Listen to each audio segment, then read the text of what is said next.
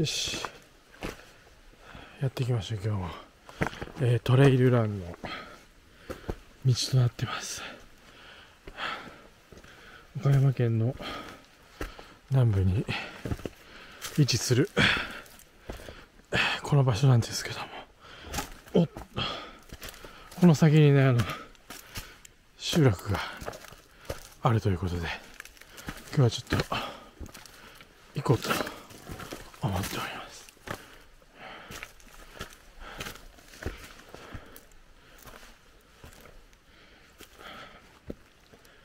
ここにも家があったような雰囲気が残っています。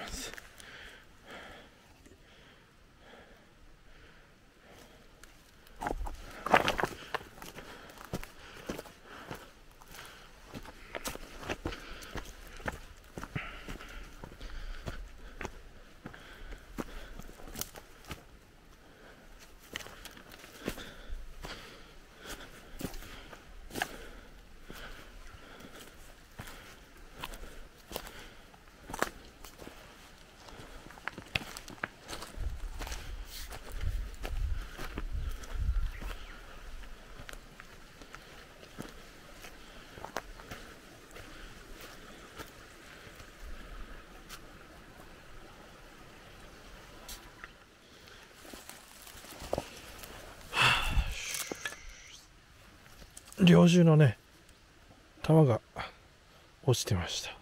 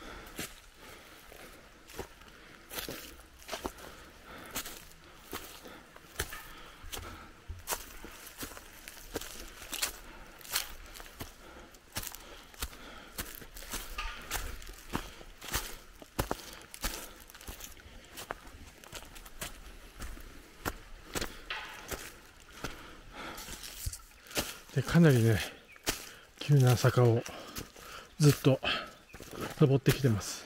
とりあえずあのずっと坂です。でかなりあのななんだろうな竹の音が鳴ってるわけなわけでこれは温度変化によってね竹が膨張してえー、なんか竹にね亀裂が入ってんのかな。まあなんかそんなための音でございます。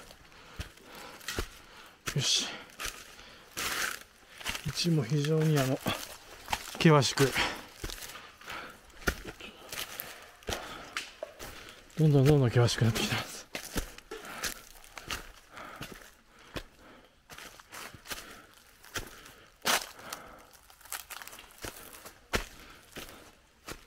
ただずっとねこのふもとからねこの電線がずっとね上の方まで辿ってるのでこの電線を辿れば何かあるのかもしれないです。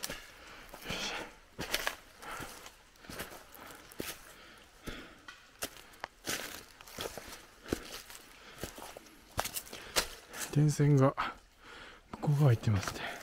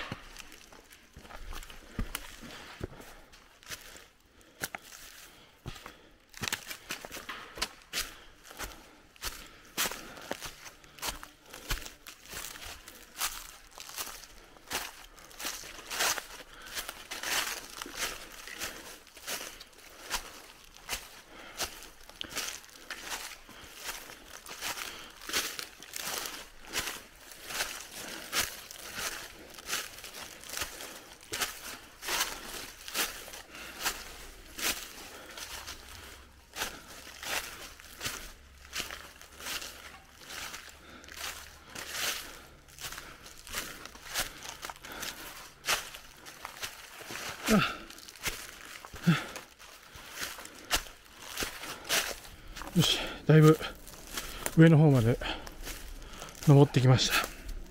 で GPS によるとだいたいだいたい標高が330メートルの位置に建物があると集落があったということでこの付近なんですけど。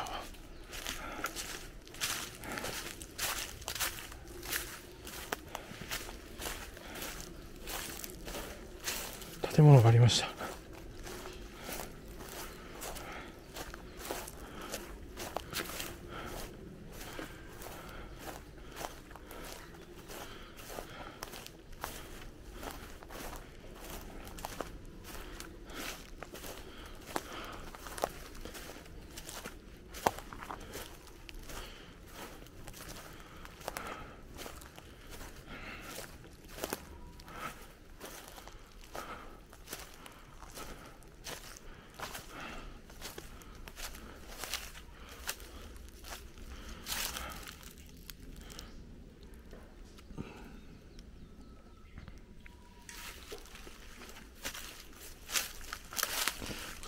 大きい小屋ですか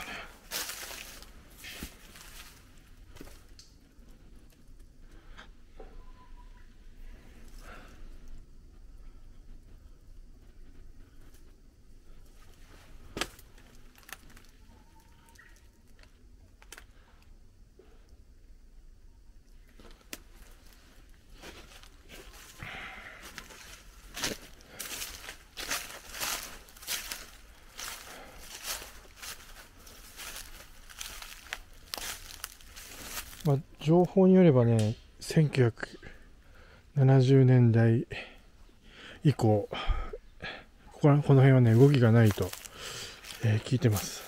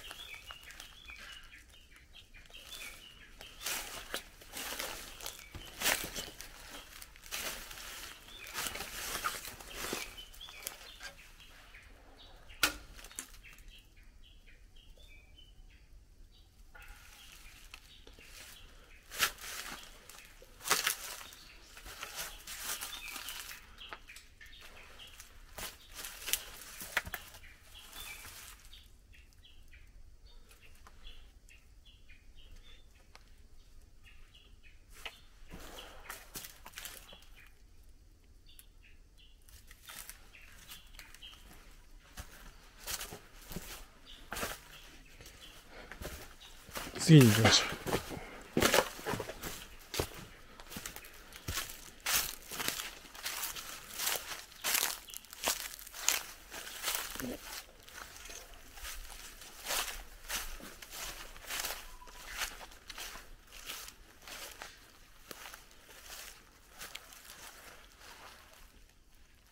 ちなみに電線は通ってないみたいですね。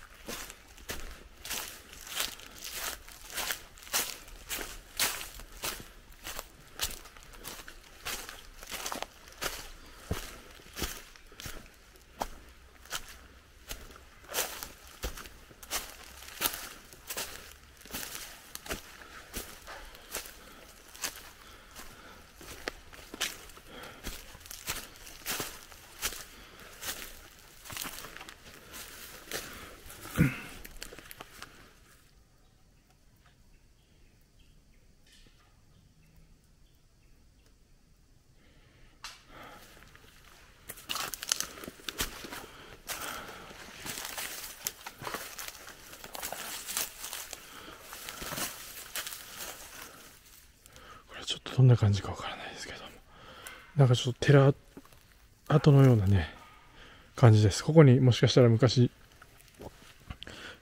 神社仏閣の建物があったのかもしれないです。いやもしかしたらこの先かもしれない。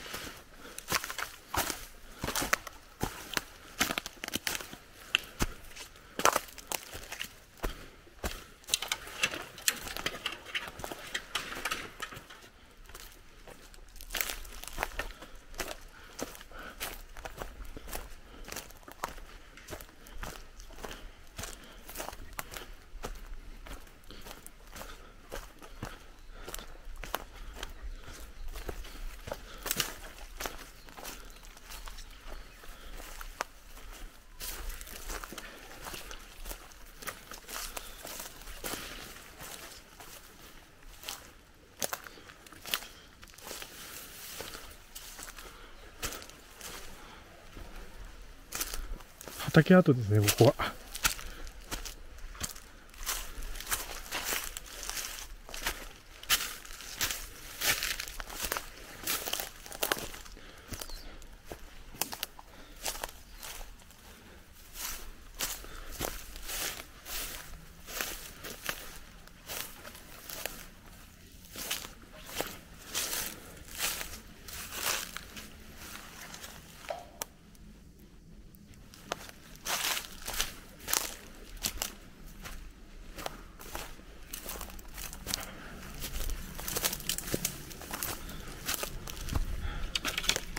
にも一軒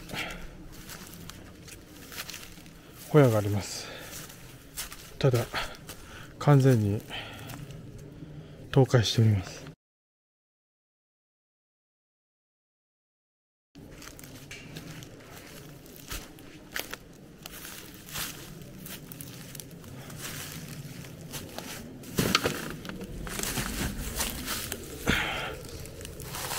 桑ですね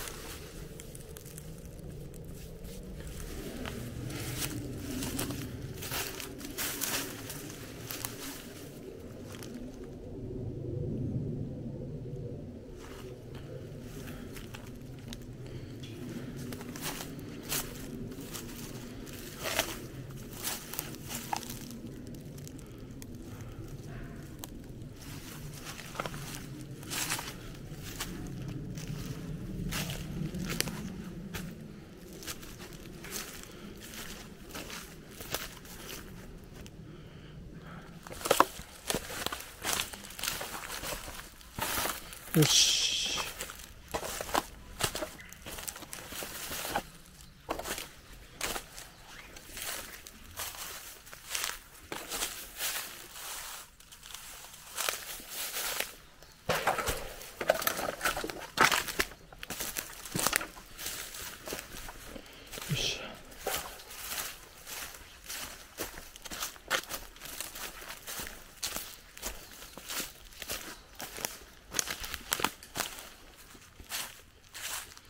よし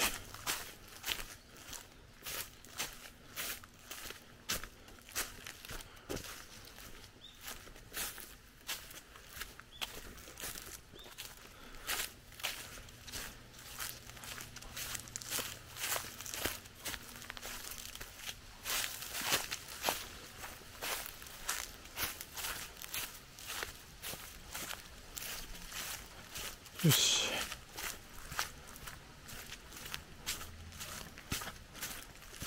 こっからがトレイルランのまた道ですね。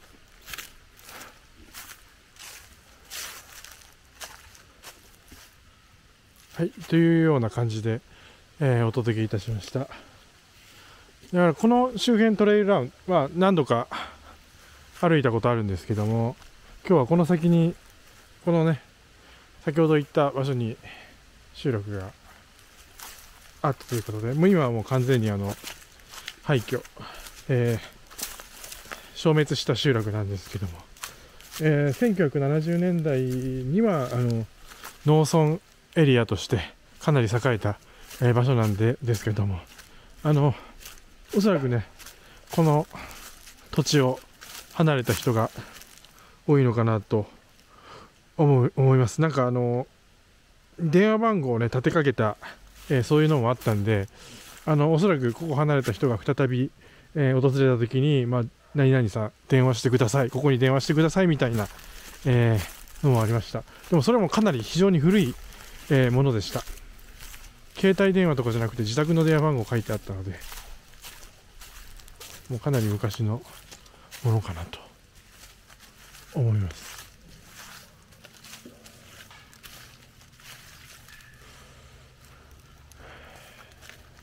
いうわけで今日はこんな感じでお届けいたしました。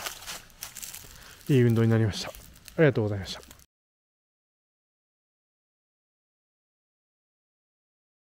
皆さんいつもご視聴ありがとうございます。またよかったらチャンネル登録よろしく。はい。